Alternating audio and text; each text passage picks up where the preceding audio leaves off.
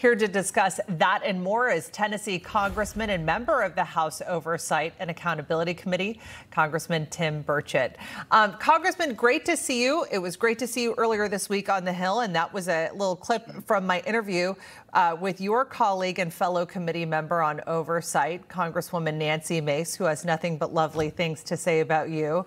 Um, how are you reading the, these developments? I know a few of, of the members on the oversight have already had a chance to view the FBI document. Now, this is the document um, that alleges a bribery scheme involving then Vice President Joe Biden, who was allegedly paid $5 million by a Burisma executive when his son Hunter Biden was a board member on the Ukrainian gas company.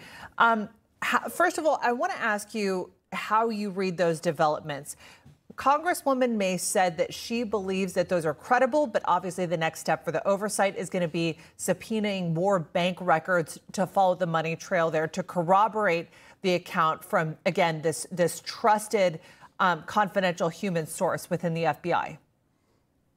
Well, my colleague Nancy Mace is, is very accurate in her praise of me and her assumption of of what's going on uh, with, with, with the president, who is then the vice president. The the payoff from Burisma that's very obvious. You know, we have ten million dollars that floated into Biden crime family accounts. I mean, minor kids through communist China and these other former Soviet bloc countries.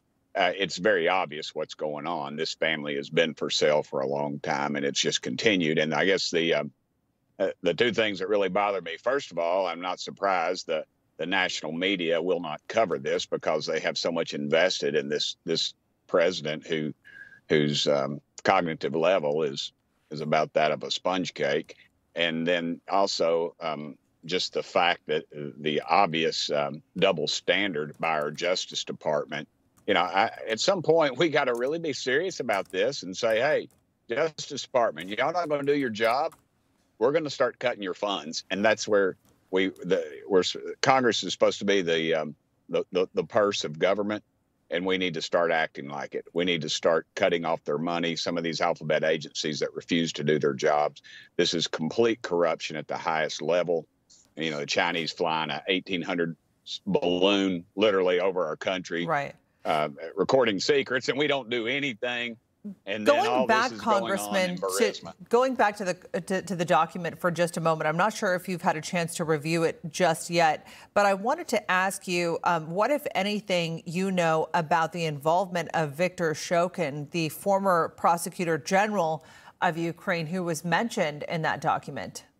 Yeah, I believe it was he the one that the uh, vice president said to fire, and then um, and then they obviously did. And you know, it's it's what the, the irony of all that is this is what they is this is what they went after Trump for. I mean, it's the it's the classic case of accuse your enemy of what you're doing, and they they clearly were doing this, and um, and we're being paid to do it, and yet no one seems to want to cover it. I mean, the Justice Department's been sitting on some of this stuff I believe, for over five years now before they even will take a look at it. And they, they hide it under the auspices of, of an investigation so they can't comment on it.